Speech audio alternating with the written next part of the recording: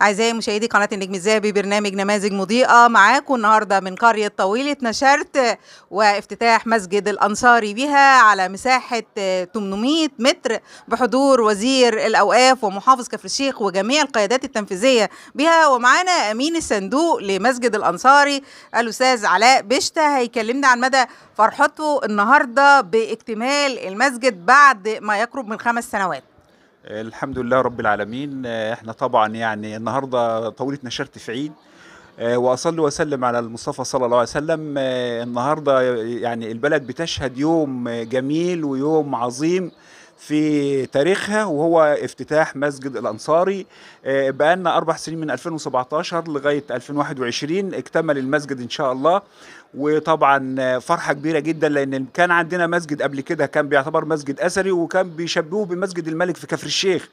لكن وكان على تراث يعني أثري بيشهد عبق التاريخ في قرية طاوله نشرت آه الحمد لله كنا الحقيقة متخوفين آه في البداية إن إحنا ما ننهضش نعمل مسجد آه يشابه أو يكون على نفس الطراز المسجد القديم لكن الحمد لله رب العالمين استطعنا إن إحنا نعمل مسجد جميل جدا ومكون من طابقين وعلى 850 متر مربع وبيتكون من طابقين. الطابق الأرضي مسجد ومسجد مصلى للرجال ومصلى للحريم.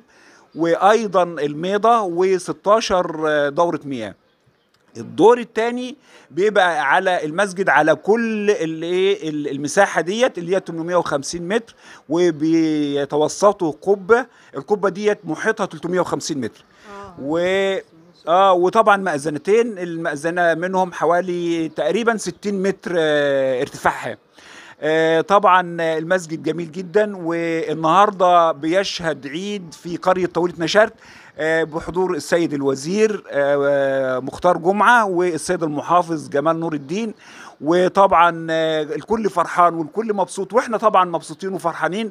حتى كان المسجد يعني في أثناء التشطيب والشغل اللي فيه كنا بنصلي في مساجد تانية داخل البلد بس برضو ما كانش عندنا نفس الفرحة ديت. إحنا بنعتبروه بالنسبة لنا يعني هو بيعتبر حرم طويلة نشرت وطبعا هو يعني بتعتبر جوهرة في مركز قلين ومحافظه كفر الشيخ. المسجد جميل جدا وهتشوفوه على التلفزيون النهارده لأن يبث عبر الأسير وعبر التلفزيون المصري وإذاعة القرآن الكريم.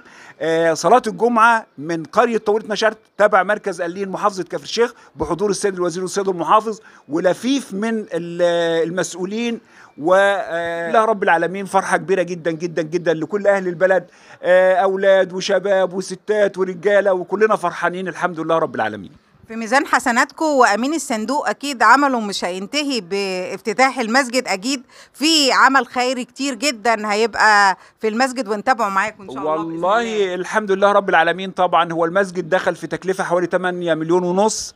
آه بس الحقيقة يعني إيه إحنا فرحانين باللي اتعمل لأن اتعمل على أعلى مستوى وزي ما بيقولوا زي الكتاب ما بيقول يعني. آه برضو طبعا العمل ما بينتهيش لأن المسجد بيبقى ليه طلبات. وليه حاجات لازم هنستكملها برضو إن شاء الله. وإحنا مش مقتصرين على المسجد بس يعني في لجنة بيت المال موجودة في طاولة نشرت والحمد لله برضو أنا أمين الصندوق بالنسبة لها ومعايا ناس محترمين جدا وأعتقد إن هي مسمعة على مستوى مركز قليل.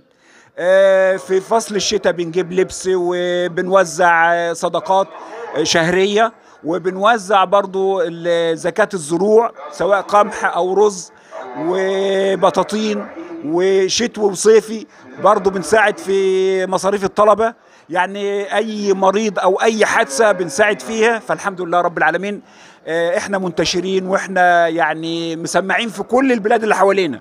نحمد الله على في ميزان حسناتكم إن شاء الله بإذن الله وإن شاء الله يكون صرح اجتماعي مش مجرد مش مجرد بيت من بيوت الله ولكن هو صرح اجتماعي بمعنى كلمة صرح اجتماعي يشمل ويرعى كل القرية بإذن الله. والله الحمد لله رب العالمين. أنا عايز أقول إن الدور الثاني فيه مكتبة وفيه كمان حجرة لكبار الزوار. وفي حجرة للإمام وكبار الزوار دي بتستخدم في حاجات في قعدات في ممكن تحفيظ قرآن آه، ممكن آه، إن شاء الله في المستقبل برضو نعمل مستوصف خيري في نفس المسجد. فالمسجد على مساحة كبيرة والسطح بتاعه على مساحة كبيرة هيخلينا إن إحنا نفكر في حاجات تخدم الناحية الإسلامية والناحية الدينية في إن القريه شاء الله بإذن الله وربنا يوفقكم وألف ألف مبروك. الله يبارك فيكم إحنا متشكرين طبعا آه، إذاعة ولا قناة النجم قناة. النجم الذهبي.